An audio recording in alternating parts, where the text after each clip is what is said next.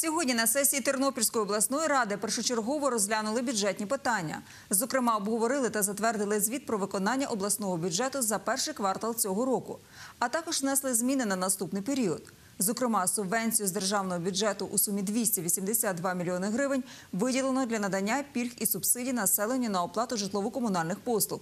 На потреби медичної галузі буде додатково спрямовано 1,4 мільйона гривень.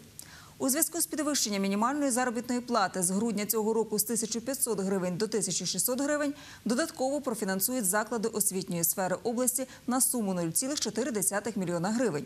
20 мільйонів гривень спрямують на придбання автобусів для шкіл сільської місцевості та майже 5 мільйонів гривень на допомогу малозабезпеченим та сім'ям з дітьми.